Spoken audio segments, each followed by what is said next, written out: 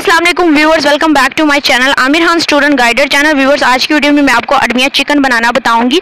यहाँ पर अरबिया मैंने आधा किलो ले ली हैं और मैंने उसको टक लगाकर, नमक लगाकर इसको रख दिया था ताकि इसकी तमाम जो लेस होती है वो अच्छी तरीके से, हम जब पानी से धोएँ तो अच्छी तरीके से धुल जाए और हमारी अरबिया बहुत अच्छी बने। आधा किलो अरबियाँ हैं और चिकन जो है वो भी मैंने आधा किलो चिकन लिया है और टमाटर मैंने चार मीडियम टमाटर लिए हैं। ये बर्फ़ वाले आप फ्रेश भी यूज़ कर सकते हैं क्योंकि हमने इसका पेस्ट ही बनाना है। और दो मीडियम साइज़ के जो हैं अच्छा दो हरी मिर्ची लिए हैं, दो मीडियम साइज़ के प्याज लिए हैं हमने।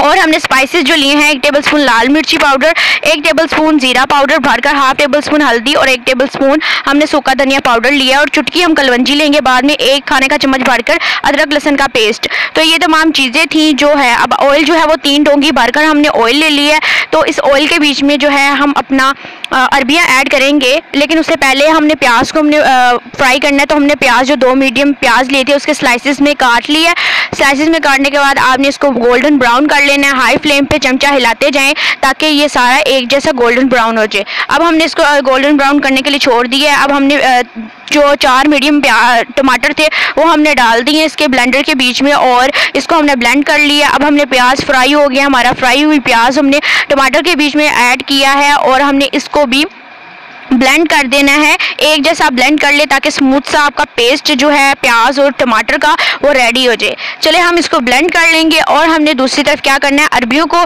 जो हमने नमक लगा के रखा था, अब हमने इसके बीच में पानी डालना है। इसको अच्छी तरीके से पहले पाँच छः दफ़ा मलना है, उसके बाद इसको एक एक करके धोना है ताकि इसकी तमाम लेस जो है, वो दूर हो जाए। अब हमने ऑयल जो है, उसके बीच में अरबियों को अपना ऐड कर देना ये जो अरबियाँ हमने धो ली हैं अच्छे तरीके से, अब हम अरबियों को अपने ऑयल के बीच में ऐड कर देंगे और इसको फ्राई करेंगे। इतना फ्राई आपने करना है कि ये गोल्डन ब्राउन हो जाए। जब गोल्डन ब्राउन हो जाएँगी तो हम इसको निकाल लेंगे किसी बॉल में। तो इसको हम फ्राई करेंगे। हाई फ्लेम पे आपने चमचा हिलाते जाना है और इसको फ्राई करना है अच्छे तरीके से। और ये हमारी जो अरबियाँ, ये फ्राई हो चुकी है, अब हम इसको बोल में निकाल लेंगे। और आपने इसी ऑयल के बीच में अब हम अपनी चिकन को जो है वो ऐड करेंगे और चिकन को हम फ्राई करेंगे। अब हमने इसके बीच में ए, एक टेबल स्पून नहीं डालनी बल्कि हाफ़ टेबल स्पून हम सॉल्ट डालेंगे क्योंकि नमक पहले हमने नहीं डाला क्योंकि वो चिकन जो है वो चूस लेगा। एक खाने का चम्मच अदरक लहसन का पेस्ट डाल दिया।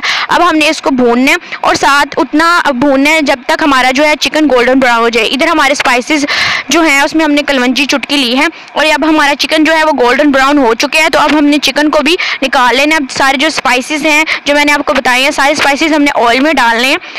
और ऑयल के बीच में अब हम क्या करेंगे? अपना जो टमाटर और प्याज की प्यूरी हमने रेडी की थी, वो अब हम ऐड कर देंगे इसके बीच में और अब हम इसको अच्छी तरीके से मिक्स करेंगे। थोड़ा सा दो गुण पानी डालकर हमने इसको मिक्स किया। इसको हम ढक देंगे अब पाँच छः मिनट के लिए। तो जब ये हमारा जो है ऑयल जो आधा निकलाएगा, आधा रह जाएगा तो उसके बाद जो है हम अपनी ये जो अब हमने ढक्कन हटाएँगे अपना, पाँच मिनट हो चुके हैं, अब हम इसके बीच में, ये देखें थोड़ा सा भी पूरा ऑयल नहीं निकला तो हमने इसके बीच में अपनी जो है फ्राई की हुई जो हमारी चिकन है और साथ अरबियाँ, वो हमने ऐड कर दी, अब हम इसको अच्छी तरीके से भूनेंगे और अपने टेस्ट के मुताबिक हमने एक टेबल स्पून सॉल्ट ऐड कर दिया पहले नमक ज़्यादा नहीं डालना, अब हमने एक टेबल स्पून सोल्ट डाल दिया, अब हम इसको अच्छी तरीके से भूनेंगे कि ऑयल हमारा निकला है, मसाला जो है ठीक हो जाए। दो हमने हरी मिर्चें डाल दी हैं, ये देखिए मसाला ठीक हो चुका है ऑयल भी निकला है सारा तो अब हमने इसके बीच में पानी डालना है। पानी मकदार का ये एक जो है ग्लास गया, पानी दो ग्लास और साथ हाफ़ ग्लास और। टू एंड हाफ़ जो है वो पानी का ग्लास आपने डालना है वाटर और हमने इसको लगा देनी है स्टीम अगर हमने रोटी के साथ खाना है तो आप थोड़ा थिक भी कर सकते हैं, पानी कम डालें और अगर आपने चावलों के साथ खाना है तो आप पानी ज़्यादा डालें। अब हमने पानी डाल दिया, अब हम इसको पाँच मिनट की स्टीम लगा देंगे। जब ये बोलेगी स्टीम और उसके बाद से टाइम नोट करेंगे, पाँच मिनट के बाद हम अपना प्रेशर को खोल लेंगे तो ये हमारा रेडी हो जाएगा। This is my favourite song तो आप ये देखें ये बहुत मज़ेदार सॉन्ग है। इसके जो ड्रामा है, बहुत अच्छा चल रहा है टीवी पर भी। हो